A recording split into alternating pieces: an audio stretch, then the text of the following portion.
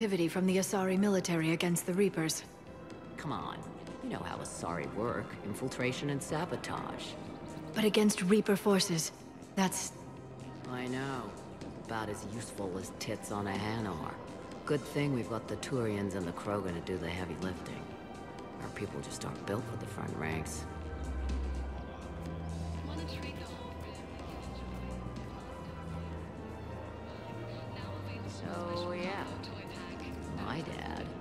Krogan. Yes, I'm aware of that. So, that makes you a quarter Krogan. That's not how it works. I'm a thousand years old. I've had kids with Hanar. Don't tell me how Asari reproduction works. Wait. I have a half-sister who's part Hanar. I thought that wasn't how it worked.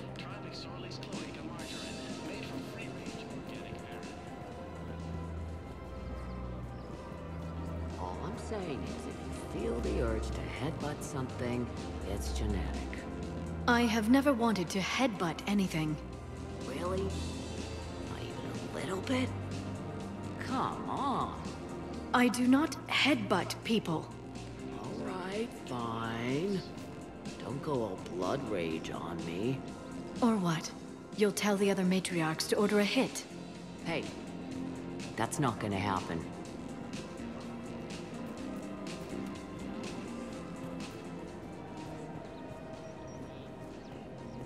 Nezzy and I were together for more than a century.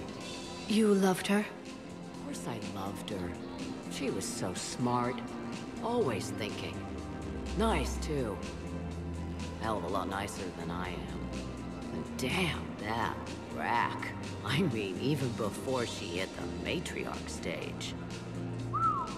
You don't need to tell me everything.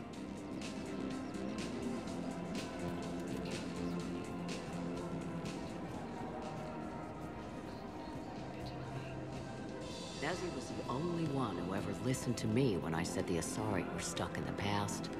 Only difference was, I wanted us to stand on our own. She wanted alliances with the other species. Is that why? Why it ended? Nah. Well, maybe. I don't know. Mostly it ended because she wanted to solve things the smart way. I wanted to fight. Those aren't mutually exclusive. Yeah. I hear you've racked up quite a body count. But then, you are a quarter Krogan. Now you're doing it on purpose.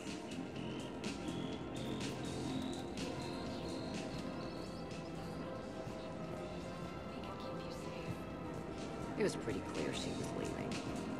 Can't be the wise counselor when you're married. Why not? Sex appeal. No species only pay attention if they want to have sex with you. So, you have to be available, mysterious. What? That's not true. Shepard listens to me. And you're single, aren't you? You think Shepard is... No. No.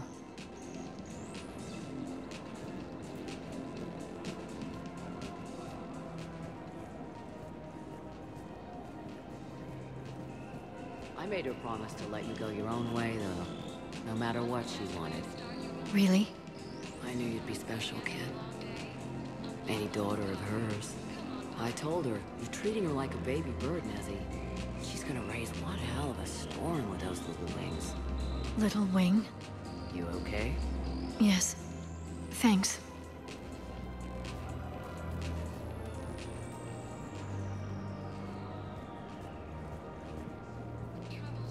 Better to remember her like this than as whatever she turned into with that Saren bastard. It wasn't her fault. She was trying to stop Saren, guide him as a force of good. But she was indoctrinated. Look, I heard stories about the Reapers messing with your head. They're more than stories. I've seen it. Every Cerberus soldier is a Reaper slave. She fought it with every fiber of her being. She even broke free and helped Shepard on Noveria before she died. I was there.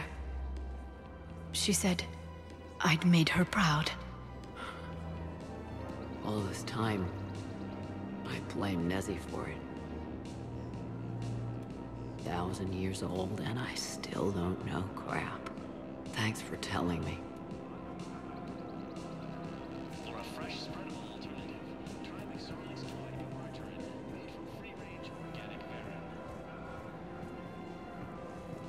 Take care of yourself out there. Okay, kid? I will, Dad. Hey. I've called a few friends. Commandos. Eclipse girls who uh, owe me some favors. They're all yours. Just tell them where to go. You're giving me... Asari Commandos? Well, you're too old for me to buy you a damn pony. You're the best father a girl could wish for.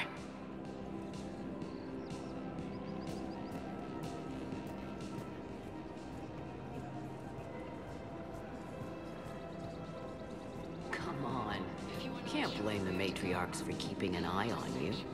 I am not my mother. Mm, You did threaten to flay someone alive with your mind. I had to make them take me seriously. I wasn't going to actually do it. And... You bugged my office on Ilium. That'd be the logical conclusion. Yeah.